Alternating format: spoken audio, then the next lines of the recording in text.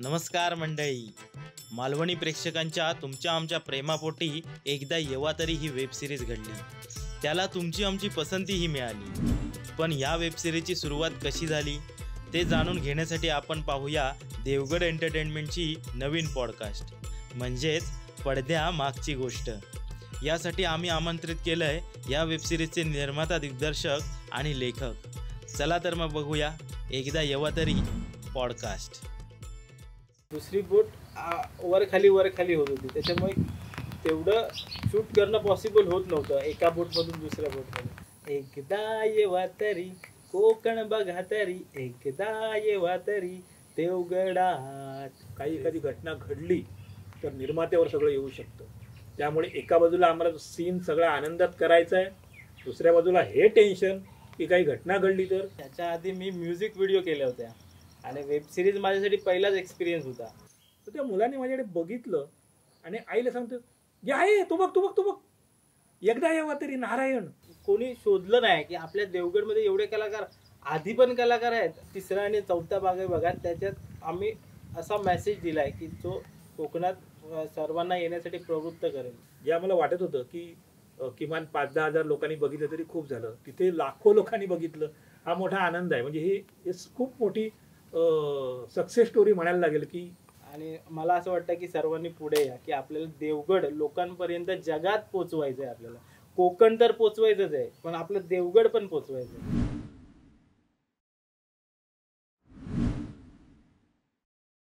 नमस्कार मी सचिन पार्टे.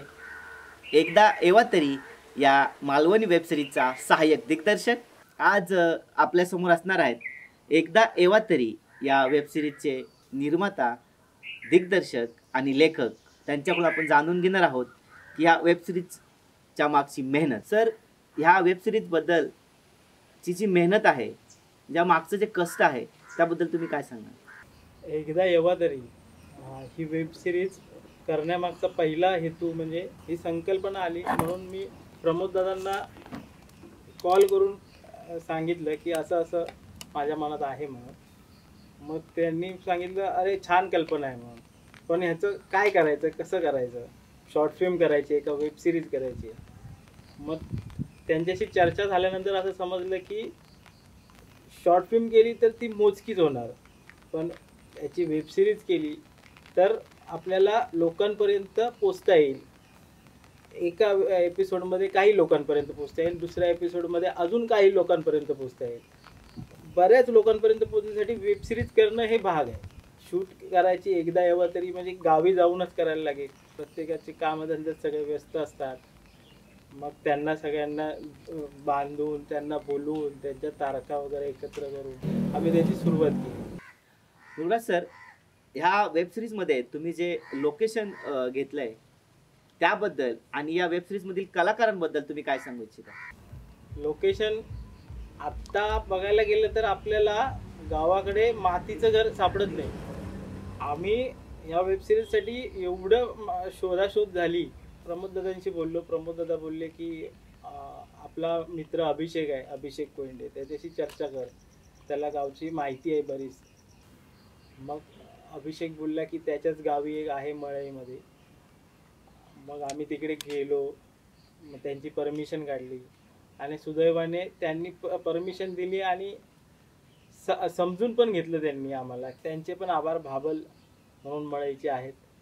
त्यांनी आम्हाला भरपूर हेल्प केली लोकेशनच्या त्या कलाकारांबद्दल बरोबर तुमचा काम करण्याचा कसा अनुभव होता? त्याबद्दल काय सांगाल? पागला पागणारा माणूस पाहिजे होता आम्हाला.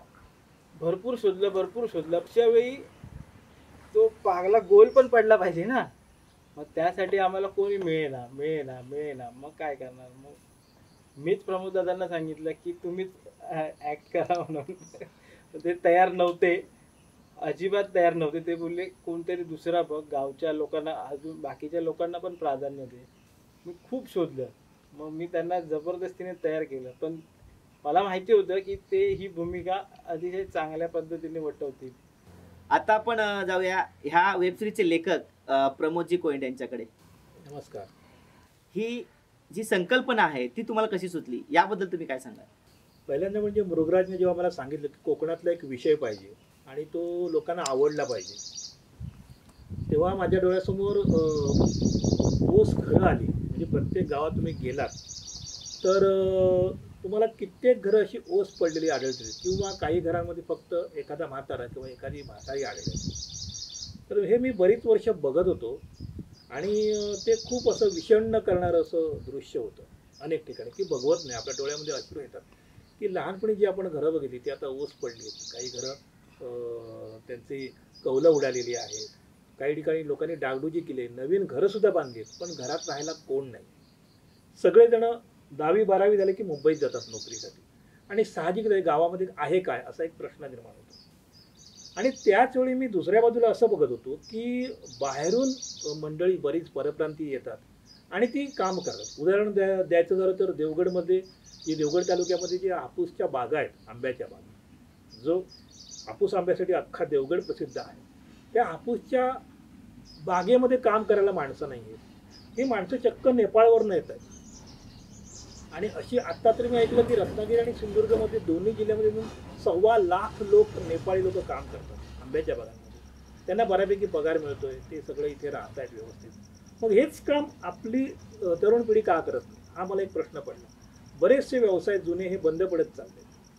तर तिथे ती माणसं का नाही? उदाहरणार्थ मच्छीमारीचा व्यवसाय असेल तर तिथे आता तो सुद्धा परप्रांतीयांच्या ताब्यात जातोय की का असं वाटायला लागलं तर तिथेही स्थानिक लोक काम करायला तयार नाहीत. आणि हे सगळे मुंबईमध्ये आहेत. आणि मुंबईमध्ये हे पंधरा वीस हजार पंचवीस हजार या पगारामध्ये काम करतात. जर तिथे त्यांची रूम नसेल खोली नसेल स्वतःची तर मुंबईत फार कठीण आहे. आणि ते सुद्धा आपण एक जी मूळ मुंबई आहे त्या मुंबईत आता राहणारे फार कमी झाले सगळे मुंबईच्या बाहेर दिवा कल्याण कसारा कर्जत किंवा ह्या बाजूला वसई विरार सफाळ्यापर्यंत लोक गेलेले आहेत. आणि हे सगळं ओढाताणीचं जीवन प्रचंड गर्दीच्या ट्रेनमधून प्रवास करणं हे सगळं करून तुम्ही किती कमवताय? हा एक मला प्रश्न पडला. आणि मग मला असं वाटलं की हे सगळ्यांनी एकदा या ना आपल्या गावामध्ये. आपला गाव बघा. आपण फक्त चतुर्थीला येतो. किंवा फार फार तर मे महिन्यात दोन चार दिवस येतो सुट्टीच्या दिवसांमध्ये. परंतु बाकीच्या वेळी गाव कसं आहे काय आपल्याला काहीही माहीत नाही. आणि मग हळूहळू ही सगळी गावं ओस पडतील. आणि परप्रांतीयांच्या ताब्यात इथले सगळे उद्योग व्यवसाय जातील ही मला भीती वाट वाटत होती जी. ती मांडण्याचा मी प्रयत्न केला आणि मग मृगराजची चर्चा झाली की असं असं माझ्या डोक्यात येतं तर आपण ह्याच्यामध्ये एपिसोड करू शकतो. तर तो म्हणाला खूप छान विषय होईल हा. आणि मग त्याप्रमाणे एक एक एपिसोड मी लिहत गेलो आणि त्याला पाठवत गेलो. प्रमोदजी मगाशी अं, मुगराज सरांनी ज्या प्रकारे ते सांगितलं की ह्या कॅरेक्टरसाठी जे नारायण म्हणून कॅरेक्टर आहे त्या कॅरेक्टरसाठी पात्र किंवा एक कलाकार सापडत नव्हता. मग त्यांनी तुम्ही हे कॅरेक्टर करावं की पात्र साकारावं असं त्यांनी तुम्हाला सांगितलं. तेव्हा तुमच्या मनावर काय दडपण आलं? आणि तुम्ही ही वेबसिरीज स्वतः लिहिली आहे. तुम्ही याचे लेखक आहात. आणि आपणच लिहिलंय आणि आपणच ते कॅरेक्टर साकारायचं. ह्याच्या जे काय दडपण असतं त्याबद्दल तुम्ही काय सांगा खरं सांगायचं तर मी वेतोवा मालिका केली होती ज्याच्यामध्ये मी चाळीस बेचाळीस एपिसोड्समध्ये होतो. मी नव्याने काही रोलच्या भानगडीत पडत नव्हतो की एक वेगळा रोल आल्याशिवाय काही करायचं नाही.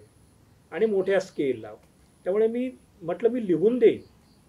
कलाकार तिकडचे स्थानिक घे की जेणेकरून ते पटकन शूटिंगसाठी उपलब्ध होतील. हा एक मुख्य त्याच्यामध्ये मुद्दा होता. परंतु जेव्हा नारायणच्या भूमिकेसाठी पण माणूसच कलाकारच मिळेना तेव्हा मग मृगराजने मला अनेक वेळा सांगितलं तुम्हीच हा करा. शेवटच्या क्षणी तर ते इतकं दडपण आलं की आता काय करायचं? कारण पागलं हे मी कित्येक वर्षात टाकलेलं नव्हतं. म्हणजे शेवटचं मी एकोणीसशे नव्वद ब्याण्णव साली कधी टाकलं असेल त्यानंतर मी ते पागलं टाकलं नव्हतं की माझा सरावही नव्हता. पण मला एक भीती वाटत होती की ते जर नाही जमलं तर काय करायचं?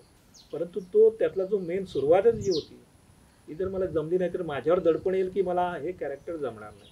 त्यामुळे मी ते टाळत होतो. परंतु जेव्हा आलं तेव्हा मग आम्ही जेव्हा गेलो आणि ते पागलं माझ्याकडनं नीट टाकलं गेलं असं मला वाटतं. निर्माता दिग्दर्शकाला तुम्ही विचारू शकता. आम्ही पहिली टेस्ट घेतली अशी खळ्यात घेतली अंगणात टेस्ट घेतली की पहिले टाकून बघूया. आणि कारण यांनी खूप आधी टाकलं होतं.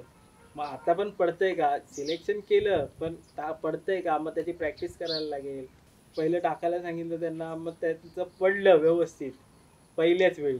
मग त्यांना घेऊन बीचवर गेलो. मळईच्या. ओके. हा त्या खाडी किनारी. खाडी किनारी जाऊन पाण्यात न टाकता पहिलं किनाऱ्यावर टाका म्हणून सांगितलं. मग किनाऱ्यावर पण पडला व्यवस्थित. मग त्याच्यानंतर मग त्यांना सांगितलं पाण्यात टाका. आणि सुदैव असं की त्यांनी तीन चार वेळा जे पागलं पाण्यात फेकलंय तीन चार वेळा मासे मिळाले. आणि जे आपण वेब सिरीजमध्ये दाखवलेत मासे ते लाईव्ह आपल्याला मिळालेले मासे. नाही की आपण चिटिंग करून टाकलं असं काहीच नाही. जे त्यांनी जाळं फेकलं त्याच्यात जे मासे मिळाले ते आपल्याला दाखवले गेले. तुम्ही ह्या मालिकेचं दिग्दर्शक सुद्धा केलंय. ते कशा प्रकारे तुम्ही त्याला सामोरे गेला त्याबद्दल मला थोडंसं जाणून घ्यायला आवडेल. त्याच्या आधी मी म्युझिक व्हिडिओ केल्या होत्या. आणि वेब सिरीज माझ्यासाठी पहिलाच एक्सपिरियन्स होता. आपल्या टीममध्ये म्हणजे कलाकार म्हणा टेक्निकल सर्वजण म्हणा सर्वांची साथ एकत्र येऊन सगळ्यांनी ही बनवली. असं माझं वैयक्तिक मत आहे. प्रमोदजी पुन्हा मी तुम्हाला विचारू इच्छितो की तुम्ही ह्या सिरीजचे लेखक आहात. ती भूमिका तुम्ही योग्यरित्या ती पार पाडली. पण नारायण हे त्यातलं कॅरेक्टर साकारताना अजून काय तुम्हाला अनुभव आला किंवा अजून काय त्याबद्दल तुम्ही सांगू इच्छिता? खरं म्हणजे मला दडपण खरोखर नारायण साकारताना मला दडपण होतं. कारण लिहिताना मला तो खूप भावला नारायण. हे सगळीच पात्र भावली. पण नारायण मग त्याचं ममता बायकोशी कसं वागणं आहे? त्याच्यानंतर त्याचा पुतण्या कार्तिक जो फार गोड आहे त्याच्यामध्ये किंवा तेजस सानिका म्हणजे त्याचा भाऊ आणि वहिनी तर हे सगळं वातावरण आणि मग त्याच्या आंब्याची बाग समुद्र मग तिकडे पागताना हे सगळं करताना मला एक दडपण होतं की तो नारायण बरोबर साकारला जातोय की नाही? आता समजा मी फक्त लेखक असतो आणि कोणीतरी नारायण दुसरा साकारत असतो तर तो पाठीमागे बघून पाठीमागे असं उभं राहून मला बघता आलं की हा नारायण कशा पद्धतीने करतोय? पण मला दडपण होतं की मी करतोय ते बरोबर आहे की नाही नारायण? तो मिळतोय की नाही मला नारायण? तर तो स्वभाव नारायणचा त्याच्यामध्ये येतोय की नाही? की फक्त ॲक्टिंग होते. हे मला दडपण होतं. सतत मला ते जाणवायचं की हे होईल की नाही बरोबर? परंतु जसे कलाकार उदाहरणार्थ आज्ञा कोयंडे किंवा आमचा ऋत्विक धुरी किंवा ज्याने हा साकारला आपला कार्तिक तो सम्यक सकपाळ किंवा ममता म्हणून ज्यांनी का- रोल साकारला आहे त्या दीपमाला कोयंडे. अशा सगळ्यांचं मला सहकार्य मिळालं आणि त्यांनी जसं जसं त्याला रिॲक्ट केलं तसं तसं मला तो नारायण चांगला गवसत गेला. कारण एकटा नारायण तसा साकारू शकत नाही. जसं त्याला रिॲक्शन येईल जसं की हा नारायण ह्या यांचा असा असा नातेवाईक आहे हे जसं त्यांच्याकडनं रिॲक्ट होत गेलं तसं तसं मला तो नारायण सापडत गेला. आणि मला याचं खूप समाधान आहे. की नंतर जो प्रतिसाद मिळाला नारायणला तो अविस्मरणीय होता. ते सगळ्याच कॅरेक्टर्सना प्रतिक्रिया जर तुम्ही त्या प्रतिक्रिया सगळ्या व्हिडिओच्या खाली बघितल्या तर खूप एवढ्या सुंदर आहेत. की मुळात वेबसिरीज त्यांना आवडणं तो विषय आवडणं हे महत्त्वाचं होतं. आणि प्रत्येक कॅरेक्टरवर प्रत्येक पात्रावर मला वाटतं लोकांनी खूप प्रेम केलं. प्रेम केलं. प्रेम करणारच कारण प्रत्येकाची मेहनत त्याच्यामागे दिसत होती. प्रत्येक माणसाने प्रयत्न केले त्याच्यामुळे हे सक्सेसफुल झालं. असं माझं वैयक्तिक मत आहे. आणि पडद्यामागची जी माणसं आहेत त्याच्याबद्दल मृगराजे सांगू की त्यांची ही मेहनत जो सगळ्यांनीच केलं म्हणतोय आपण म्हणजे कलाकार पण सगळे काम करत होते त्यांनी ते उपलब्ध सगळं केलं म्हणून आपण कमी दिवसांमध्ये तीन चार दिवसांमध्ये एवढी वेबसिरीज उभी करणं ही सोपी गोष्ट नाही. पण निर्माते त्यांनी ती सगळी धावपळ सगळी केली आणि सगळी माणसं गोळा केली. तर मला वाटतं ते मृगराजच सांगू शकेल. पडद्यामागची माणसं काय काय करत होती ती? जेव्हा आमचं ठरलं ना करायचं पहिलं गोष्ट हीच येते की टेक्निकल म्हणजे आपल्याला कॅमेरा पाहिजे कॅमेरामॅन पाहिजे. मग ते गावी मिळतील का? मग ते गावी आपल्या बजेटमध्ये मिळतील का? मग ते अवेलेबल आहेत का? ते सगळं बघणं ते सगळं बघता बघता आमची टीम अशी तयार झाली की आपला तेजस निवळकर उत्तम कॅमेरामॅन आहे. त्याने साथ दिली. तो एका वेळी कॅमेरा आणि लाईट्सचं पण काम करत होता. आपला अभिषेक कोयंडे लोकेशन पण सर्च करून दिली. लाईट्स पण अवेलेबल करून दिल्या. लाईट्स हँडल करत होता कॅमेराच्या मागे. आपला अनिल कोयंडे स्टील फोटोग्राफी करत होता. प्लस प्रोडक्शनचं पण काम करत होता. आणि सांगायचं महत्त्वाचं म्हणजे आपला सहाय्यक दिग्दर्शक सचिन पार्टे हा जेवढी मी मेहनत घेत होतो जेवढे दादा मेहनत घेत होते तेवढी तो पण मेहनत घेत होता. सर देवगडच्या खाडीकिनारी तुम्ही जो पाण्याच्या आतमध्ये जाऊन बोटीमध्ये जो सीन तुम्ही शूट केला त्याबद्दल तुम्ही काय सांगाल? तो सीन घेताना अशी तारांबळ उडाली होती की आम्ही आधी खडकाची शूटिंग घेत होतो तिकडे. कपल शूट होतं तिकडे. तेजस आणि सानिकाचं. ते झाल्यानंतर आम्हाला ती लाइट जाण्याआधी आम्हाला त्या समुद्रावर खाडीवर जाऊन आम्हाला ते बोटी शूट करायचं. आता बोटी शूट करायचं तर लाईव्ह बोट शूट करायची तर दुसरी पण बोट पाहिजे आपल्याला. आणि दुसरी बोट तिकडे वा हवा चालू होती त्यावेळी आणि दुसरी बोट वरखाली वर खाली वर खाली होत होती. त्याच्यामुळे तेवढं शूट करणं पॉसिबल होत नव्हतं. एका बोटमधून दुसऱ्या बोटमध्ये मग आपला कॅमेरामॅन तेजस निवलकर तो पाण्यात उतरला. त्याला मी सांगितलं पर्याय नाही दुसरा. तुला पाण्यात उतरावं लागेल. मग त्याने ऐकलं तो पाण्यात उतरला. तो एवढ्या पाण्यात राहून शूट करत होता. आणि अभिषेक कोंडे आणि मी स्वतः बोटीच्या दोन्ही साईडला जाऊन बोट पकडून होतो बोट चालवत होतो. त्याच्यामुळे हे सर्व आम्ही करू शकलो. सोबत होता अनिल होता सागर होता. त्याचे पण धन्यवाद. की त्यांनी भरपूर हेल्प केली. आमची जी सानिका जो रोल केला आहे आज्ञा कोयंडेने ती पाण्याला खूप घाबरते म्हणजे होडीतल्या त्यामुळे एवढं कठीण होतं तिने ते चेहऱ्यावर दाखवलं नाही. तुम्ही जर सीनमध्ये बघाल तर खूप सुंदर सीन झाला आहे तिने खूप छान केलं आहे पण प्रत्यक्ष शूटिंग करताना ती घाबरत होती की होडी कलंडली तर काय? आणि त्यामुळेच मृगराज आणि अभिषेक या दोघांनी होडी पकडून ठेवली होती. आणि आम्ही त्याप्रमाणे शूट केलं. नंतर जो मी वलवतोय वगैरे तो आपण सीन घेतला स्वतंत्रपणे. पण जिथे संवाद होते बोलण्याचे.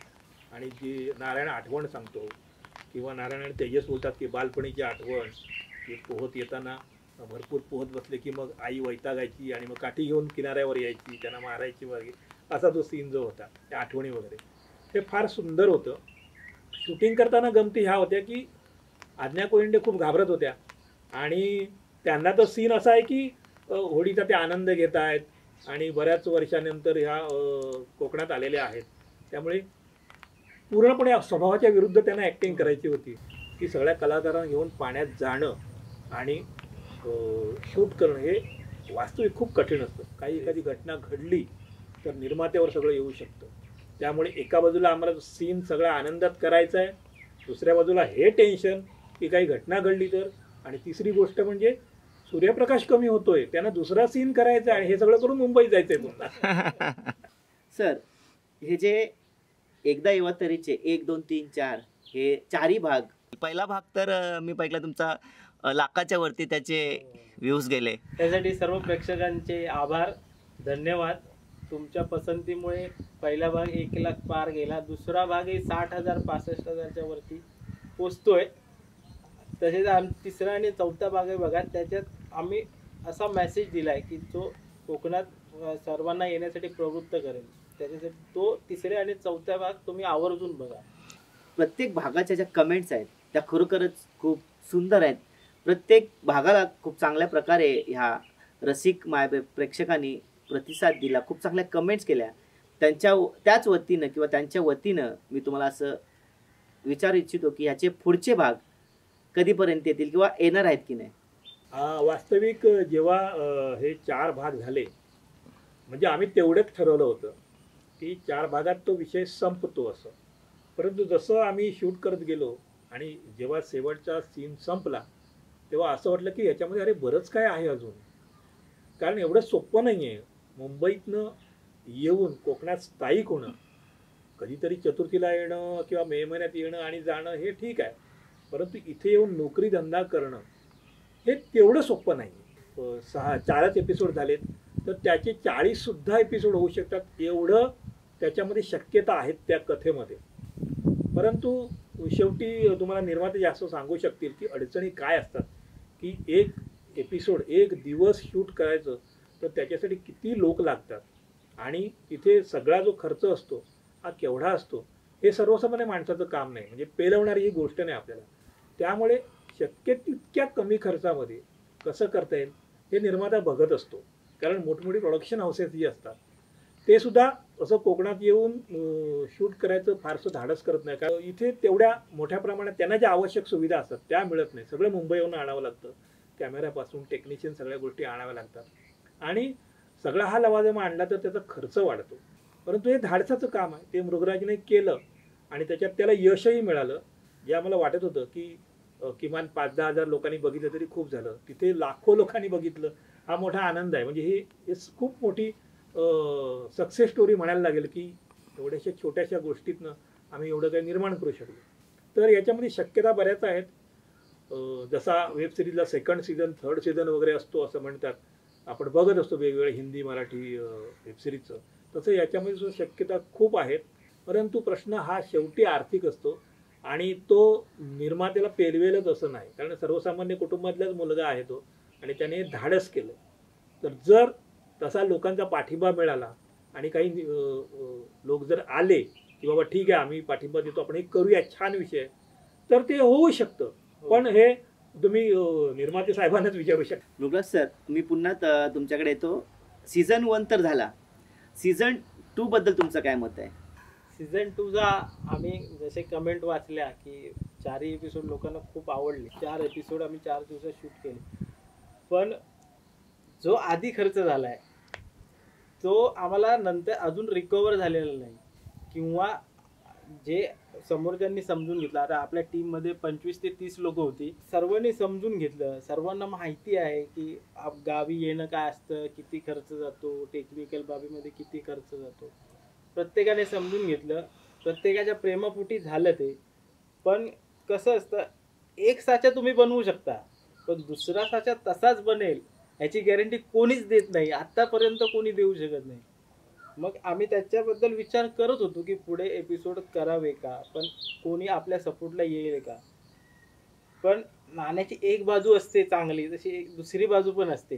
की काही लोक असे पण मिळतात की नाही आमचं बजेट एवढं आहे. मग आम्हाला एवढे द्यावे लागतील. मग आम्ही इथून येणार तिथून येणार. मी पण सर्वसामान्य माणूस आहे. मी पण जॉब करतो. आणि जॉब करून थोडे थोडे हे करून आपल्याला काहीतरी करायचं आहे म्हणून साठवून आम्ही हे आमची कलाकारी सादर करण्याचा प्रयत्न करतो. देवगड एंटरटेनमेंट आहे म्हणून आम्ही म्हणजे आमचाच एरिया आहे म्हणून आम्ही आमच्या लोकांना पहिलं प्राधान्य मिळावं. आपले जे लोक आहेत कलाकार आहेत देवगडमध्ये किती कलाकार आहेत भरपूर कलाकार आहेत. पण ते आपण शोधत नाही. आपण काही लोक काय करतात की आपले आपले मित्र मित्र घेतात नाही करून मोकळे होतात. प्रमोद दादाने आमचं जे बोलणं झालं की स्थानिक कलाकार पाहिजेत. मी तसं त्यांना सांगितलं होतं की माझ्या बघण्यात असे असे कलाकार आहेत स्थानिक कलाकार. मग आपण त्यांना घेऊया का? ऋत्विक धुरी चांगली ॲक्टिंग करतो उत्तम ॲक्टिंग करतो. त्याने सिरियलमध्ये पण केले. आज्ञा कोयंडे उत्तम ॲक्टिंग करते ती जजिंग करते नाटक नाटक बसवते डिरेक्शन करते लाईट्स करते नाटकांना. मग लहान मुलगा शोधायचा. आता लहान मुलगा कुठे शोधायचा? हा मोठा प्रश्न पडला होता. मग आज्ञालाच विचारलं कोण आहे का? तर ती बोलली हो आम्ही बालनाट्य करतो. त्याच्यात एक मुलगा आहे चांगली ॲक्टिंग करतो. सर ममता हे कॅरेक्टर शोधण्यासाठी तुम्हाला खूप धडपड करावी लागली. त्याबद्दल काय सांगा नारायण काकांची वाईफ तर त्याच्यात होती कॅरेक्टर पाहिजे होतं. आपल्या देवगडमध्ये शोधलं बरंच ठिकाणी शोधलं पण करणाऱ्या आहेत. हौशी कलाकार पण आहेत करणार करणाऱ्या. पण असं म्हणजे घर सांभाळून मी येईन किंवा चार दिवस तुम्हाला देईन असं कोणी सापडलं नाही. शोधत होतो आम्ही बरेच शोधत होतो. मिळाल्या त्या कणकवली कुडाळ सावंतवाडी त्या साईडच्या मिळाल्या. पण ते कसं आपल्याला बजेटनुसार आपल्याला स्थानिक आणि स्थानिक कलाकार पाहिजे होती. त्याच्यामुळे आपण सांगितलं नाही दोन्ही आप साधारण ॲक्टिंग करणारी का होईना? आपल्या इथली पाहिजे. मग आज्ञाने आम्हाला सांगितलं की दीपमाला कोयंडे म्हणून आहेत. त्या करतात. आमच्या एका शॉर्ट फिल्ममध्ये त्यांनी काम केलं होतं. मग मी बोललो व्हिडिओ पाठव म्हणून. तर तिने ती लिंक पाठवली तिच्या शॉर्ट फिल्मची बघितली. मग आमचं डिस्कस झालं की हो करू करून घेऊ शकतो ॲक्टिंग तर त्यांनी उत्तम केली ॲक्टिंग तुम्ही बघू शकता. रुग्णास सर एकदा येवा तरी ह्या वेब सिरीजचं तुम्ही जे टायटल सॉन्ग लिहिलंय आणि गायलंय अं, ते आम्हाला ऐकायला भेटलं तर खूप बरं वाटेल. एकदा येवा तरी कोकण बघा तरी एकदा येवा तरी देवगडात एकदा येवा तरी कोकण बघा तरी एकदा येवा तरी मालवणात. रुग्णास सर तुम्ही हे जे गाणं लिहिलंय आणि गायलंय ते जेव्हा तुम्ही कामानिमित्तानं गावी येता किंवा कुठे बाहेर जाता तेव्हा ते गाणं वाचतं किंवा एखादा प्रेक्षक येऊन त्या गाण्याबद्दल तुम्हाला सांगतो तेव्हा काय वाटतं तुम्हाला? व्हिडिओ आले समोरून की आमच्या घरात लहान लहान मुलं पाच सहा वर्षाची मुलं ह्या गाण्यावर नाचतायत म्हणून. मला व्हिडिओ आले बऱ्याच लोकांचे. माझे मित्रमैत्रिणी मित्रमैत्रिणींचे नातेवाईकांचे जे ओळखीचे माणसं होती त्यांचे पण व्हिडिओ आले मला. तेव्हा मला वाटलं हा गाणं कुठेतरी चांगलं झालंय. आणि ते मला असं इन्स्टंटली सुचलं मी स्क्रिप्ट वाचतच होतो. तेव्हा वाचता वाचता मी आधी म्युझिक व्हिडिओ करतच होतो ना. त्याच्यामुळे मला तो सेन्स होता की मग मी ते एक चाल लावली.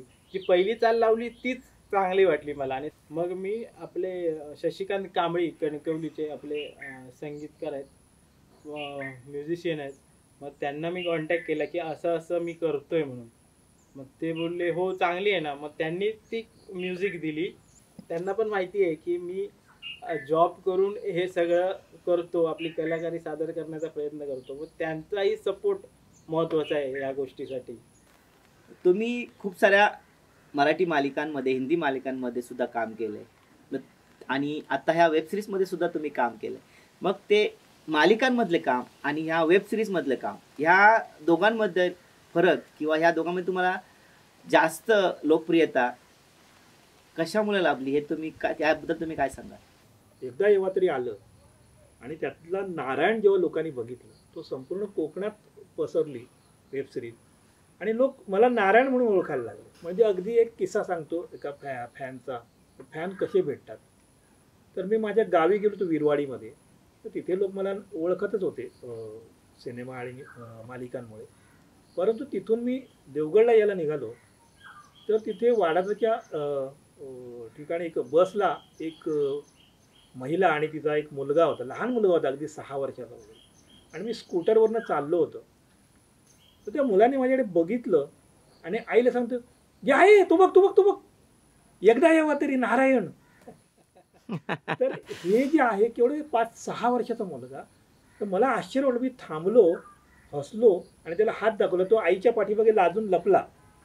आणि मग त्या तेवढ्या त्याची एस टी आली ते एस टीत बसून गेले. तर मला त्याला भेटायचं होतं. परंतु एस टीतनं लगेतील लोक निघून गेले. सांगायचा मुद्दा हा की एवढासा लहान मुलगा तर तो जो मोबाईलवर गेम खेळण्यामध्ये मुलं दंग असतात आणि ह्या वयामध्ये तो एकदा यावा तरी बघतोय आणि त्यातली कॅरेक्टर्स त्याला पाठ आहेत. त्याने मला ओळखलं आणि त्या नावाने मला त्याने हाक मारली. तर त्याची आई पण असली तर हा जो निरागसपणा आहे की मोबाईल सोडून वेब सिरीज बघतोय चांगली वेब सिरीज जी आपल्या भागातली आहे आपल्या भागातला विषय आहे. तर हा फॅन मला जास्त मोठा वाटतो. की ही जी पोचपावती आहे अभिनयाची ती मोठी आहे की वेबसिरीज तिकडे पोचली आहे. लहान मुलांपर्यंत पोचली आहे. माझ्या मोबाईलची पण रिंगटोन एकदा येवा तरीच आहे फक्त म्युझिक लावली आहे मी. आणि मी एका दुकानात होतो सामान घेत होतो. आणि म्युझिक वाजली रिंगटोन वाजली. आणि बाजूचा मुलगा बोलायला लागला एकदा येवा तरी कोकण बघा तरी. तर मी बघितलं त्याच्याकडे. तो जो एकदा येवा तरी तर मग मी त्याला सांगितलं हो मीच दिग्दर्शक आहे त्याचा म्हणून. मग त्याने सांगितलं माझा लहान पाच वर्षाचा मुलगा आहे. तो पण हे गाणं सारखं बोलत असतो. अजून पण घरी गेलो ना तरी तो मध्ये मध्ये बोलत असतो. म्हणजे वेब सिरीज होऊन महिना झाला असेल एक दीड महिना झाला तरी पण लोकांच्या तोंडून अजून ते शब्द ते गेलं नाही अजून की वेब सिरीज अजून डोक्यातून त्यांच्या गेली नाही. आणि लोक सांगतायत अजून करा पण आमचे प्रयत्न चालू आहेत. बघू कधी यशस्वी होत आहे ते. कमेंटचा विषय मगाशी झाला पण पुन्हा कमेंट्समधलेच काही अशा कमेंट्स आहेत की सर आम्हाला घ्या आम्हाला काम द्या. तर त्या हौशी कलाकारांना तुम्ही काय सांगाल? नाही मी सांगू शकतो याच्याबद्दल की ह्या ज्या कमेंट्स ज्या आल्यात ना त्या आल्यानंतर आम्ही चर्चा सतत आम्ही फोनवर असायचो की अरे किती सुंदर सुंदर कमेंट येत आहेत. की मला माझं गाव आठवला. मला माझं काही लोक म्हणतात की मला माझं बालपण आठवलं. किंवा काही लोक म्हणतात की अरे तुम्ही आम्हाला पण घ्या. तर हे जे आहे ना हे कोकणाशी कुठेतरी कनेक्टेड आहे. आपल्या गावाशी आपल्या भागाशी कनेक्टेड आहे. याचा अर्थ काय की आमचा विषय त्यांच्यापर्यंत पोहोचला आहे ही सगळ्यात मोठी पावती होती. आणि कुठला यूट्यूबचा व्हिडिओ असेल तर कमेंट्स सेक्शन हे फार महत्त्वाचं आहे तिथे शेकडो कमेंट्स आम्हाला आल्या. हे आमच्यासाठी आश्चर्याचा धक्का होता. पहिल्यांदा ती लोक किती बघतील? याची आम्हाला काळजी होती.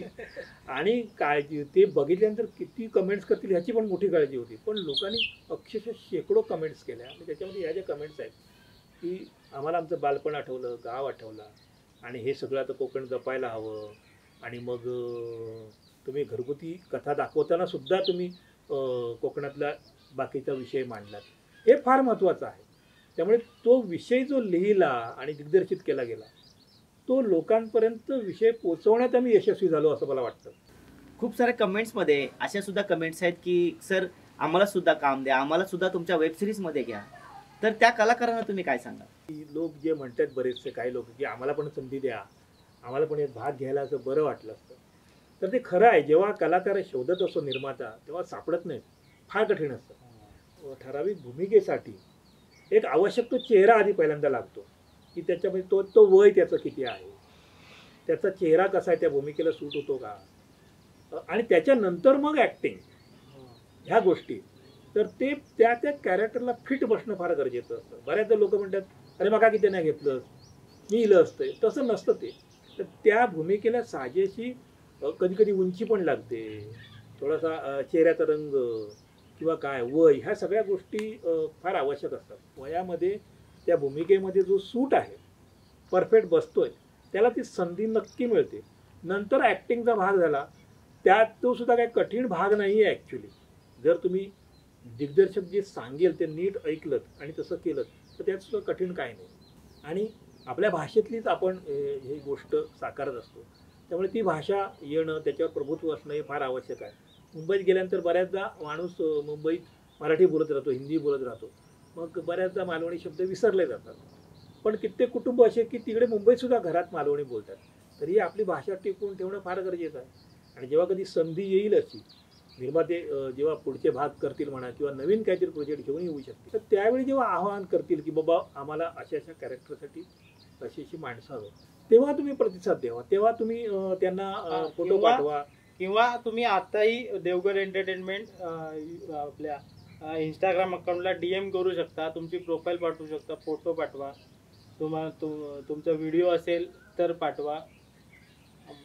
आम्ही त्याचा विचार करू जेव्हा आम्ही प्रोजेक्ट घेऊन येऊ तेव्हा. देवगडमध्ये राहतो आणि आपण देवगडचं काहीतरी देणं लागतो.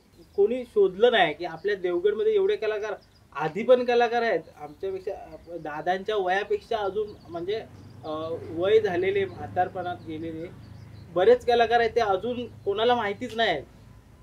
मग त्यांना कुठे शोधायचं? आपले जवळपास आहेत त्यांना लोकांसमोर आणा. असं माझं वैयक्तिक मत आहे. आणि देवगडमध्ये शूटिंग करण्याचं कारण असं की देवगड आपल्याला एक्सप्लोर करायचं आहे. म्हणून नाव पण देवगड एंटरटेनमेंट ठेवलं. देवगडचं आपलं गार्डन झालं होतं नवीनच. तेव्हा मी तिकडे म्युझिक व्हिडिओ मी तिकडे केला होता. परमिशन वगैरे काढून केला होता व्यवस्थित. पण आपल्याला देवगड एक्सप्लोर करायचं आहे मग त्याच्यासाठी जेवढी मेहनत लागेल जेवढा सपोर्ट मिळेल तेवढा तुम्ही पण करा आम्ही पण प्रयत्न करतोय.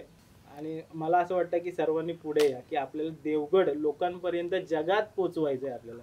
कोकण तर पोचवायचंच आहे पण आपलं देवगड पण पोचवायचं आहे आम्हाला तू सगळे प्रश्न विचारलेस पण सचिन पार्टे म्हणजे तू एक सहाय्यक दिग्दर्शक म्हणून इथे काम केलं बरोबर?